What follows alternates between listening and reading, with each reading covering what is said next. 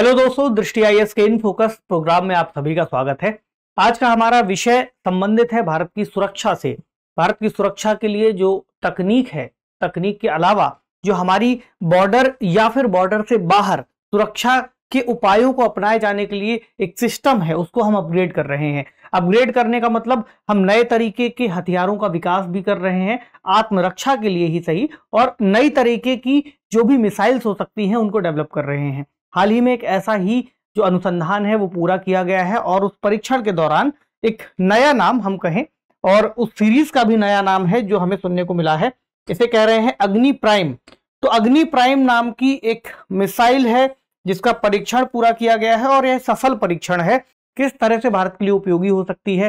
हाँ, इसकी रेंज क्या है? इस अग्नि सीरीज़ में कौन कौन सी मिसाइल्स शामिल हैं? क्योंकि आपने कई सारी भारत की जो रक्षा सिस्टम है उसमें अलग अलग मिसाइलों के बारे में सुना होगा और पढ़ा होगा। इस सीरीज़ को अपडेट करते रहना बहुत ज़रूरी है, क्योंकि जैसे ही कोई नया अपडेट आता है, उस पर कोई सवाल पूछा जा सकता है। टॉपिक है, क्यों खास है भारत की नई बैलिस्टिक मिसाइल अग्नि प्राइम तो यह भी समझना है कि एक तरह की बैलिस्टिक मिसाइल है, जिसका नाम अग्नि प्राइम या अग्नि पी रखा गया है।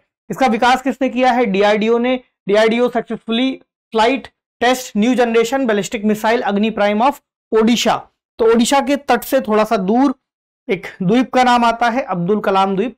तो वहाँ पर इसका परीक्षण किया गया है। इस पर बात थोड़ी सी और करेंगे कि चर्चा में क्यों है। इसके अलावा समझेंगे परीक्षण किस तरह से किया गया। इसकी खासियत क्या है, इसका उपयोग क्या है। अग्नि श्रृंखला की चूँकि एक मिसाइल है तो अग्नि इस श्रृंखला में और कौन कौन सी मिसाइल्स का विकास किया गया है, किस तरह से कारगर है, कितनी उपयोगी हो सकती है। निष्कर्ष क्या है और एक सवाल प्रारंभिक परीक्षा में मिसाइल तकनीक को लेकर के पूछा जा सकता है। जीएस पेपर थ्री, विज्ञान एवं तकनीक और सुरक्षा इस खंड से जुड़ जाता है। इसके अलावा प्रारंभिक परीक्षा में भी महत्वपूर्ण है। हालाँकि जो सिविल सेवा की प्रारंभिक परीक्षाएँ हैं, वो हो चुकी हैं, लेकिन अन्य एग्ज़ाम्स में भी इंपॉर्टेंट है।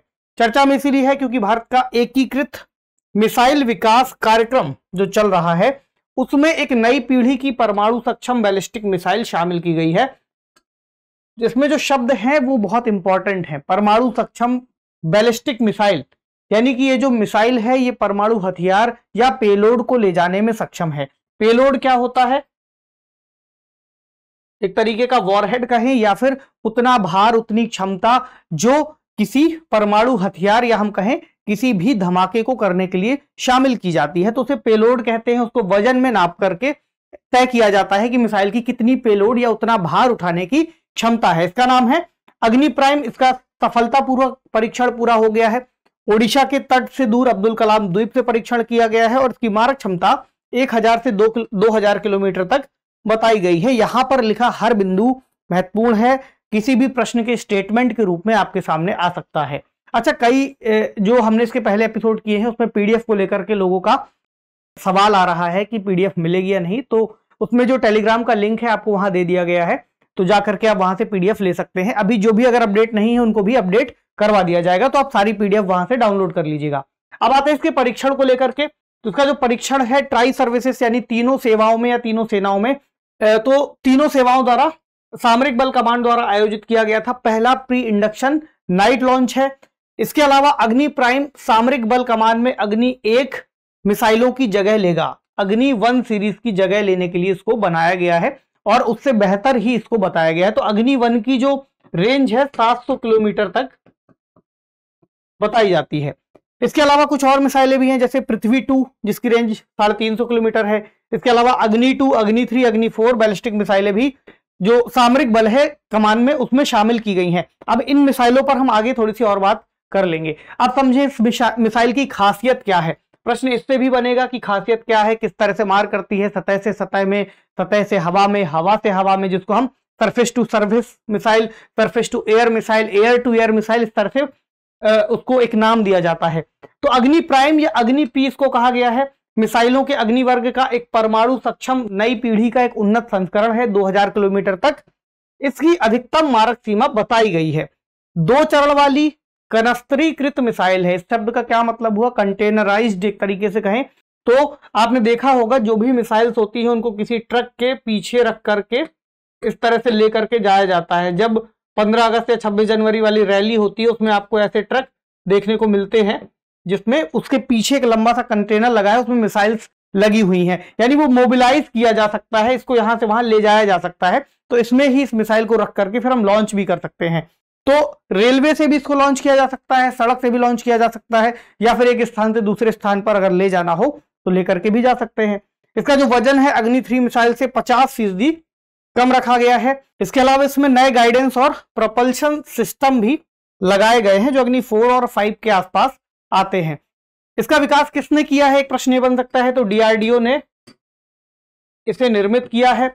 मध्यम श्रेणी की बैलिस्टिक मिसाइल है, इसको एम आर बी एम कहा गया है। अग्नि चार और अग्नि पाँच जो मिसाइलें हैं, उसी की तकनीकी प्रगति इसमें भी शामिल है, यानी उसी तरीके का एडवांस सिस्टम इसमें विकसित किया गया है। तो अग्नि एक और अग्नि सीरीज़ का इसको उत्तराधिकारी माना गया है, यानी अग्नि प्राइम को सतह से सतह पर मार करने वाली मिसाइल है सरफेस टू सरफेस इसके अलावा रोड मोबाइल और ठोस ईंधन वाली मिसाइल है, यानी मोबिलिटी भी मौजूद है। उपयोग किस तरह से किया जाना है? अग्नि प्राइम में प्रणोदन प्रणाली लगाई गई है, रॉकेट, मोटर आवरण लगाया गया है और नेविगेशन और मार्गदर्शन प्रणाली लगी हुई है। अगर हम अग्नि पाँच को देखें तो अग्नि पाँच के साथ भारत, चीन और पाकिस्तान जैसे देशों के खिलाफ मज़बूत प्रतिरोध क्षमता को हासिल करता है, जहाँ अग्नि फाइव की बात आती है, उसकी रेंज लगभग सात हज़ार किलोमीटर से अधिक बताई गई है, जिसकी रेंज में चीन जैसे कई सारे देशों के क्षेत्र आ जाते हैं।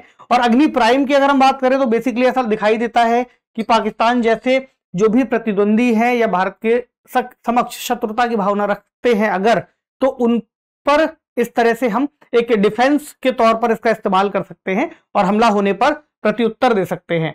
तो मिसाइल रक्षा प्रणालियों के खिलाफ अधिकतम गतिशीलता और सटीक हमले हो सकते हैं और सटीकता के मामले में इसको काफ़ी बेहतर बताया गया है।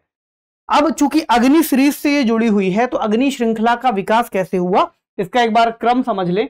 तो 1980 के दशक में जो हमारे पूर्व राष्ट्रपति और मिसाइल मैन कहे जाते हैं, डॉक्टर एपीजे कलाम, उनके नेतृत्व में एकीकृत, निर्देशित मिसाइल विकास कार्यक्रम, जिसकी हमने शुरू में चर्चा की, integrated guided missile development programme को शुरू किया गया और मिसाइल श्रृंखला में अग्नि मिसाइल को भी यहाँ पर विकसित किया जाना प्रारंभ कर दिया गया। अब इस प्रोग्राम को उन्नीस सौ तिरासी में सरकार से मंजूरी मिल जाती है। इसका मकसद था भारत को मिसाइल तकनीक में आत्मनिर्भर बनाना और इसमें पाँच मिसाइल्स का नाम आता है। तो बिहार की जो राजधानी है पटना, आप उससे इसका नाम निकाल सकते हैं। इतना याद कर लीजिएगा, पटना। पटना में कौन कौन सी मिसाइल है? पृथ्वी, अग्नि, त्रिशूल, नाग और आकाश। ये चार नाम है, ये पाँच नाम है सॉरी तो इन पाँचों को आप पटना लिख करके याद कर लीजिए। अब अग्नि श्रृंखला का विकास में जो अन्य पाँच मिसाइल है, छठी विकसित की जा रही है। और अभी के लिए हम कहें तो अग्नि सीरीज़ जो वन से फाइव तक जाती है, उस श्रृंखला में छठी मिसाइल ये है। हालाँकि इसका नाम अग्नि प्राइम है, अग्नि छह नहीं है। अग्नि छह नाम से एक और मिसाइल का विकास किया जा रहा है। तो अग्नि वन एक ठोस ईंधन प्रथम चरण के साथ दो चरणों वाली मिसाइल है, जिसकी स्ट्राइक रेंज 700 से 1200 किलोमीटर तक है और ये 1000 किलोग्राम का पेलोड ले जा सकती है। उसके बाद आती है अग्नि टू दो चरणों वाली बैलिस्टिक मिसाइल है। मारक क्षमता 2000 से 3000 किलोमीटर तक बताई गई है। और 1000 किलोग्राम तक का पेलोड ले जा सकती है। पहली बार परीक्षण 2012 में एक तरीके से इसको लॉन्च किया गया था। अग्नि थ्री 3500 से 5000 किलोमीटर तक की रेंज रखती है। मध्यम दूरी की बैलिस्टिक मिसाइल है और 1500 किलोग्राम तक का पेलोड लेकर के जा सकती है। अग्नि फोर को देखेंगे तो इसकी रेंज 4000 किलोमीटर के आसपास है। ये भी मध्यम दूरी की ही बैलिस्टिक मिसाइल है। शुरुआती परीक्षण इसका 2011 में किया गया था और 1000 किलोग्राम तक पेलोड लेकर के जा सकती है। इस सीरीज़ की सबसे उन्नत मिसाइल वर्तमान में जो हमारे पास मौजूद है, वो है अग्नि फाइव। एक ठोस ईंधन वाली इंटरकॉन्टिनेंटल बैलिस्टिक मिसाइल है। तो इंटरकॉन्टिनेंटल बैलिस्टिक मिसाइल कैसी मिसाइल्स होती हैं? जो लॉन्च करने पर पहले अंतरिक्ष की ओर जाती हैं, फिर अपनी दूरी को तय करते हुए जहाँ पर हमला करना है, वहाँ पर हमला कर देती है। एक कॉन्टिनेंट से दूसरे कॉन्टिनेंट तक भी जा सकती है। तो मारक क्षमता है 7000 किलोमीटर या उससे भी अधिक, और इसका पहला परीक्षण 19 अप्रैल 2012 को व्हीलर द्वीप से किया गया था। इसी सीरीज़ में अग्नि छह का भी विकास हो रहा है, जो कि एम सक्षम, एक इंटरकॉन्टिनेंटल बैलिस्टिक मिसाइल है। डीआरडीओ इसके विकास में लगा हुआ है, वर्तमान में विकास के चरण में है, और सबसे उन्नत संस्करण इसको अग्नि मिसाइलों का बताया गया है। यहाँ पर आपको रेंज दिख जाएगी अलग अलग मिसाइलों की, जैसे ये है प्रहार मिसाइल 150 किलोमीटर तक जाती है। उसके बाद है ब्रह्मोस, जो कि क्रूज मिसाइल है 300 किलोमीटर तक। उसके बाद आएगी पृथ्वी, जो कि साढ़े तीन सौ किलोमीटर तक जाएगी। फिर अग्नि वन, चर्चा कर ली 700 plus. Nirbhay missile 800 plus kilometre. Agni two 2000 plus. Agni three 3200 Agni चार 4000 किलोमीटर तक। वही बात, प्लस की बात लगा दी गई है। और अग्नि फाइव। अगर आप अग्नि फाइव की रेंज देखें, ए फाइव की रेंज ये आती है तो आप समझ पाएँगे कि रशिया वाला एरिया और इधर नॉर्वे स्वीडन वाला एरिया है। और अल्जीरिया यहाँ का अफ्रीका का काफ़ी ज़्यादा एरिया यहाँ पर कवर हो जाता है, कुछ ऑस्ट्रेलिया का एरिया कवर हो जाता है। हालाँकि कोई भी देश उसकी क्षमता भले ही कहीं ज़्यादा हो, लेकिन इतने दावे कोई भी देश नहीं करेगा, क्योंकि ये सुरक्षा के लिहाज से बहुत महत्वपूर्ण बात होती है कि दुश्मन देश के पास आपकी जो भी रणनीतिक या स्ट्रेटेजिक इंफॉर्मेशन है, वो नहीं जानी चाहिए। तो बेसिकली इतनी जानकारी अभी के लिए जो बाहर है सबके पास पब्लिक डोमेन में वो मौजूद है। अब आते हैं सवाल पर, निम्नलिखित कथनों पर विचार कीजिए। पहला अग्नि प्राइम हवा से हवा में मार करने वाली बैलिस्टिक मिसाइल है। दूसरा, अग्नि फाइव एक ठोस ईंधन वाली अंतर महाद्वीपीय बैलिस्टिक मिसाइल, यानी कि आईसीबीएम है। इनमें से कौन सा कथन सही है, आपको कमेंट बॉक्स में लिखना है। अगर यहाँ पर आने के बाद कोई कंफ्यूजन हो रही है तो वापस से जाकर एक बार सेशन को देख लीजिएगा। तो मिलते हैं अगले सेशन में, किसी अन्य महत्वपूर्ण विषय के साथ। पढ़ते रहिए, खूब सारा ख्याल रखिए। शुक्रिया।